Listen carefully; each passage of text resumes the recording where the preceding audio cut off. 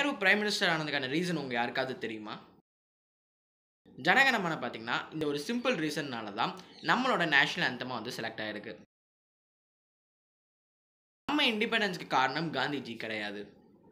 இந்த மாதிரி இன்ட்ரெஸ்டிங்கான கொஷின்ஸ்க்கு உங்களுக்கு ஆன்சர் தெரியணும்னா இந்த வீடியோ ஃபுல்லாக பாருங்கள் ப்ளஸ் நம்ம சேனலை சப்ஸ்கிரைப் பண்ணாதவங்க சப்ஸ்கிரைப் பண்ணிடுங்க. இந்த வீடியோ பிடிச்சி தான் உங்கள் ஃப்ரெண்ட்ஸ்க்கு ஷேர் பண்ணுங்கள் வாங்க வீடியோக்குள்ளே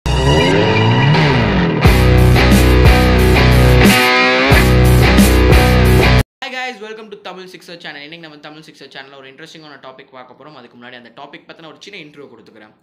ஆக்சுவலி பார்த்தீங்கன்னா வந்து நம்ம ஹிஸ்ட்ரிலையும் சரி நம்ம படித்தப்ப எல்லாமே பார்த்தீங்கன்னா வந்து இந்தியன் ஹிஸ்ட்ரியை காமிக்கிறப்ப அதில் வந்து நல்ல விஷயங்கள் தான் காமிச்சிருக்காங்களே தவிர அதோட டார்க் சைடு வந்து நம்மளுக்கு சொல்லி கற்பிக்கப்படவே இல்லை.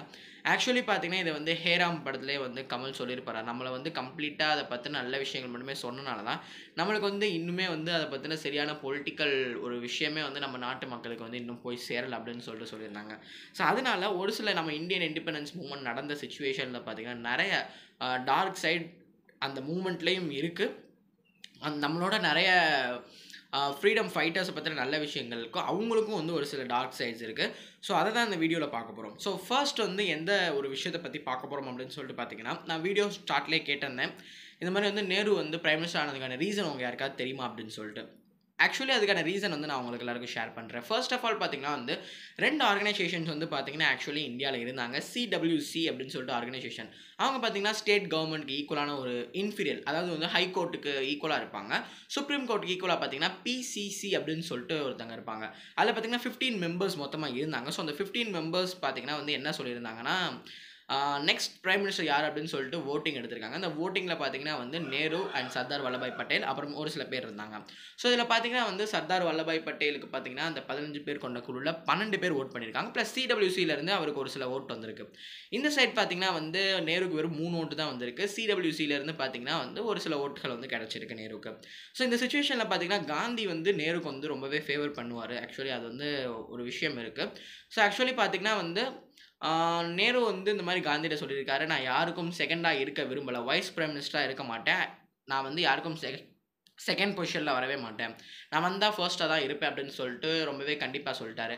காந்தியும் வந்து பார்த்தீங்கன்னா நேரு இது மாதிரி சண்டை போட்டானா வந்து அந்த அவர் ஃபர்ஸ்ட்டே சொல்லியிருந்தார் இல்லையா? மவுண்ட் பேட்டன் அப்படின்னு சொல்லிட்டு நினைக்கிறேன். இந்த மாதிரி வந்து சீக்கிரமாக வந்து ஒரு கவர்மெண்ட் ஃபார்ம் பண்ணலன்னா நாங்கள் கொடுக்க மாட்டோம் பா அப்படின்னு சொல்லிட்டு சொல்லியிருந்தாங்கல்ல. ஸோ அந்த ரீசன்னால் பார்த்தீங்கன்னா காந்தி என்ன பண்ணியிருக்காரு அப்படின்னா காந்தி வந்து வேகமாக போய் பார்த்தீங்கன்னா சர்தார் வல்லபாய் பட்டேல்கிட்ட போய் பேசியிருக்காரு. அதாவது வந்து நீ வேணால் விட்ரா பண்ணிடு இதுலேருந்து நேரு வந்து பிரைம் மினிஸ்டர் ஆகட்டும் அப்படின்னு சொல்லியிருக்காரு. வல்லபாய் பட்டேல் பார்த்தீங்கன்னா காந்தி மேலே ரொம்ப ஒரு மரியாதை வச்சுருந்த ரீசன்னால பார்த்தீங்கன்னா சரி ஓகே எனக்கு வந்து பிரைம் மினிஸ்டர்லாம் வேணாம். அதாவது first prime minister of India வந்து யாராலையும் மறக்கவே முடியாது. அந்த மாதிரி ஒரு போஸ்ட்டை வந்து எனக்கு வேணான்னு சொல்லிட்டு வல்லபாய் பட்டேல் போனனால வேறு கான்டெஸ்ட் அதாவது காம்படிஷன் யாரும் இல்லாதனால தான் பார்த்தீங்கன்னா வந்து நேரு பிரைம் மினிஸ்டராக இருக்காரு என்ன அப்படின்னு சொல்லிட்டு பார்த்தீங்கன்னா இன்னொன்று கொஷின் கேட்டிருந்தேன். ஜனகணமனை வந்து எப்படி நம்மளோட நேஷ்னல் ஆந்தம் ஆச்சு அப்படின்னு சொல்லிட்டு. ஆக்சுவலி பார்த்தீங்கன்னா வந்து ஜனகணமன் வந்து நம்மளோட நேஷ்னல் ஆந்தம் ஆனதுக்கான ரீசன் வந்து ஃபர்ஸ்ட் வந்து நம்ம எல்லாருமே எப்படி சொல்லியிருப்பாங்கன்னா நைன்டீன் லெவலில் வந்து ரபீந்திரநாத் தாகூர் வந்து பாடினாரு. அதனால வந்து இந்த மாதிரி நேஷ்னல் ஆந்தமாக செலக்ட் ஆச்சு அப்படின்ட்டு சொல்லிட்டு இருந்தாங்க. பட் ஆக்சுவலி வந்து அதோட ஃபுல் மீனிங் அது வந்து மீனிங் அப்படின்றத விட பார்த்தீங்கன்னா அது எந்த ஒரு ஜேர்னலில் பாடியிருக்காங்க அப்படின்னா ஜார்ஜ் ஃபை அதாவது இங்கிலாண்டோட ஒரு கிங்கை வந்து பார்த்தீங்கன்னா அவரை வந்து புகழ்ந்து பாடினது தான் பார்த்தீங்கன்னா இந்த ஜனகணமன பாடல். ஆனால் பார்த்தீங்கன்னா ஆக்சுவலி வந்தே மாதரம் வந்து ந எயிட்டீன் நைன்டி சிக்ஸில் ச பக்கிம் சந்திர சாட்டர்ஜி பாடியிருக்காரு. அது பார்த்தீங்கன்னா ஒரு ரிவோல்ட் நடக்கிறப்ப ஒரு போராட்டம் நடக்கிறப்ப ஸ்டேஜில் நின்று அவர் வந்து தைரியமாக பாடின ஒரு பாடல். ஆனால் வந்து அந்த காலத்தில் நேரு என்ன யோசிச்சிருக்காருன்னா அங்கே அப்போ இருந்த இன்ஸ்ட்ருமெண்ட்ஸை வச்சு வந்தே மாதரம் நல்லா அழகாக பாட்டு கேட்காது ஸோ நல்லா இருக்காது கேட்க.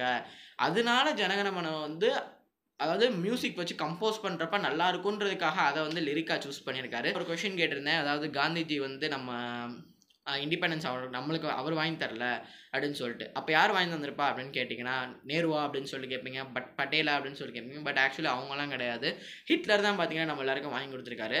அதாவது அவர் அங்கே பண்ண சேட்டை தான் பார்த்தீங்கன்னா நம்மளுக்கு எங்களுக்கு வந்து இங்கே வந்து இண்டிபெண்டன்ஸாக கிடச்சிருக்கு. அது என்ன அப்படின்னு சொல்லிட்டு கேட்டிங்கன்னா வேர்ல்டு வார் டூ நடக்கிறப்ப வந்து ஹிட்லர் வந்து நல்லா வச்சு செஞ்சுட்டாரு இங்கிலாண்டையும் ஃப்ரான்ஸையும் ஸோ அதனால் பார்த்தீங்கன்னா அவங்களோட எக்கானமி ரொம்பவே குறைஞ்சு போச்சு. ஸோ இந்த மாதிரி குறைஞ்சிருக்கப்ப இவங்க வேற வந்து இந்த இடத்துல நயன ரொம்பவே டென்ஷன் ஆகிற மாதிரி போராட்டம் பண்ணுறது அது பண்ணுறது இது பண்ணுறதுன்னு இருந்தாங்களா? ஸோ அவங்களெல்லாம் வந்து கண்ட்ரோல் பண்ண முடியல. ஒவ்வொரு காலனிஸ்லேயும் இந்த மாதிரி நடக்குது. மிலிட்ரி ஃபோர்ஸ்லாம் வந்து வாருக்கு போயிட்டாங்க. ஸோ என்ன பண்ணுறதுன்னு தெரியாமல் குழம்பிருந்தாங்க இல்லையா அதனால தான் வேறு வழியெல்லாம் போய் தொலைங்களான்னு சொல்லிட்டு போகிறப்ப அப்படியே கொடுத்துட்டு போயிருக்காங்க. விஷயம் அதாவது டார்க் சைடு அதாவது இந்த மாதிரி இண்டிபெண்டன்ஸை போனால் போட கொடுத்துட்டு போகாமல் இந்த மாதிரி பார்ட்டிஷன் ஆஃப் இந்தியா அண்ட் பாகிஸ்தான்னு போட்டாங்க. உடனே வந்து முஸ்லீம் லீக் முகமது அலி ஜின்னா என்ன சொல்லியிருக்காருன்னா அதாவது எங்களுக்கு வந்து இன்ஃபீரியர் ஃபோர்த்து பா ஒன் ஒன் பை ஃபோர் தான் இருக்கும் அந்த கண்ட்ரியில் முஸ்லீம்ஸ் ஸோ எங்களை வந்து இன்ஃபீரியராக பார்க்குறீங்க ஸோ நாங்கள் தனி கண்ட்ரி எடுத்தோம்னா எங்கள் கல்ச்சர் முஸ்லீம் கல்ச்சர் ட்ரெடிஷன்லாம் நாங்கள் ஃபாலோ பண்ணிக்கலாம்னு சொல்லியிருக்காரு. பார்த்திங்கன்னா கிட்டத்தட்ட பத்து லட்சம் பேர் வந்து செத்து போயிருக்காங்க. அது ஒரு dark side of the history அப்படின்னே சொல்லலாம். எஸ் அடுத்த விஷயம் என்ன அப்படின்னு சொல்லிட்டு பார்த்தீங்கன்னா நாதுராம் கோட்ஸே வந்து கோட்ஸே தான் வந்து காந்தியை கொலை பண்ண ஹிஸ்ட்ரி நமக்கு சொல்லியிருக்காங்க. பட் அதோட டார்க் சைட் நம்மளுக்கு சொல்லலை. அதாவது ஏன் கொலை பண்ணாருன்ற வந்து நாதுராம் கோட்ஸேலோட பெர்ஸ்பெக்டிவ்ல இருந்து பார்த்தா தான் நமக்கு தெரியும். ஆக்சுவலி பார்த்தீங்கன்னா வந்து காந்திஜி ஒரு ஆர்த்தடாக்ஸ் ஹிந்து கோட்ஸேவும் ஒரு ஆர்த்தடாக்ஸ் ஹிந்து. பட் ஆக்சுவலி பார்த்தீங்கன்னா வந்து காந்தி கம்ப்ளீட்டாக ஒரு மைனாரிட்டி முஸ்லீம்ஸ்க்கு பார்த்தீங்கன்னா அதாவது ஹிந்து நேஷனில் மைனாரிட்டி முஸ்லீம்ஸ்க்கு வந்து ஹெல்ப் பண்ணுறாரு அப்படின்னு சொல்லிட்டு கோட்ஸே வந்து வந்து திங்க் பண்ணியிருக்காரு. பட் ஆக்சுவலி இது மைனாரிட்டி முஸ்லீம் மெஜாரிட்டி ஹிந்துஸ் அந்த மாதிரி எதுவுமே கிடையாது. எல்லாமே ஒன்று தான் பட் அந்த மாதிரி ஹெல்ப் பண்ணியிருக்காரு. ஃபிஃப்டி ஃபைவ் க்ரோர்ஸ் வேறு கொடுத்து அனுப்பியிருக்காரு பாகிஸ்தான் இந்தியா பார்ட்டிஷன் அப்போ.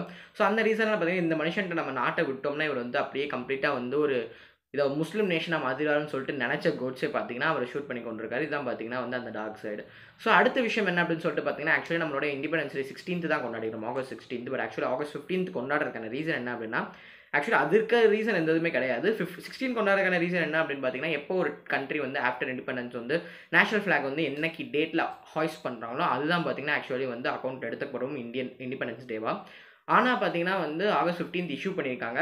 அன்றைக்கி நைட் வந்து ஜவஹர்லால் நேரு தூங்கிட்டு இருந்த ரீசனால் பார்த்தீங்கன்னா அடுத்த நாள் காலையில் தான் வந்து ரெட் ஃபோர்ட்டில் வந்து இந்த மாதிரி கொடி ஏற்றிருக்காரு அதனால சிக்ஸ்டீன்த் தான் கொண்டாடணும் பட் ஃபிஃப்டீன்த் கொண்டாடுறோம். இதுதான் அந்த விஷயம். ஸோ அந்த வீடியோ பிடிச்சிருந்தா சப்ஸ்கிரைப் பண்ணுங்கள் நம்ம சேனலை லைக் பண்ணுங்கள் ஸோ அது மட்டும் இல்லாமல் வந்து உங்கள் ஃப்ரெண்ட்ஸ்க்கு ஷேர் பண்ணி பார்க்க வைங்க. So thank you have nice